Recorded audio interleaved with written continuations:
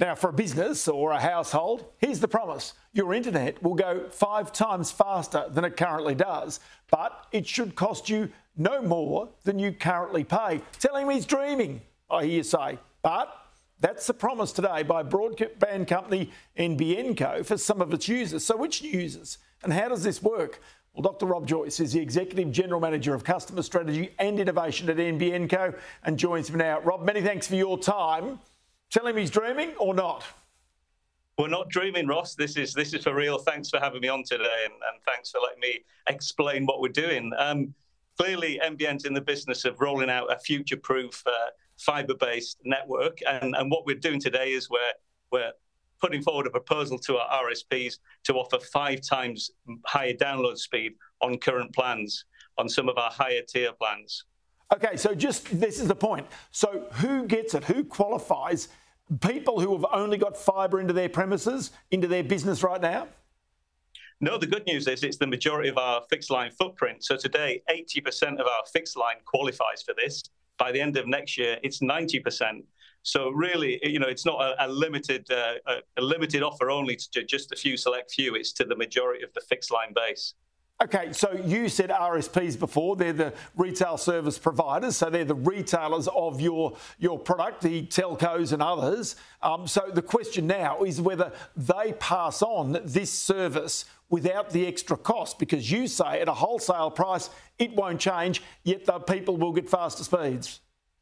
That's right. It's up to the, the retailers to, to consider their costs. Of course, there will be some costs because they'll be have to uh, adjust their billing systems. They'll have to carry more traffic on their on their own networks. But we're not charging anymore. We're we're passing that, this on at no extra wholesale cost to the to the retailers. That's right. Okay, really simple question. Why didn't this happen five years ago? Why didn't it happen three years ago? Why is it now? Well, it's now because we've been in a process of upgrading our network over that period um, to be gig capable. So gigabit, that's a thousand megabits. So so the network is now gig capable, and so now's the time when we start to say, okay, we don't need to leave the the speeds down at uh, archaic 50 meg, 100 meg speeds. We can go all the way to a gig, and even beyond in the future. We're already beginning to talk to the retailers about where do we go from here. So, in other words, the internet is only going to get faster, not slower. So that means download speeds, lack of dropouts, all that sort of stuff is going to be become more normal into the future. This is not the start and the end. This is actually the beginning. Well, that's right. I mean, you know, more and more of us use the internet for more things each day. I mean, would you believe that we've gone from 10 years ago, we, we, we consumed about 40 gigabytes of data per month. We're now up at 440. That's the average Aussie home.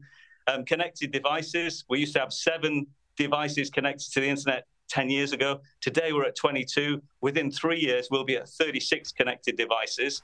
And as I say, it's the fiber, it's the, the high speed network that we need when we start streaming 4K movies. And, you know, I could go on and say, well, don't forget, we've, we've not even touched AI or augmented or virtual reality services that will drive the need for speed even further. And just quickly, I mean, what, what's the nirvana here? What are you hoping for? I mean, you're talking about a gig now. What are we talking about in terms of future speeds? Well, that's interesting. I went to uh, see Nokia Bell Labs recently, and I asked them exactly that question. I said, "Where do we get to?"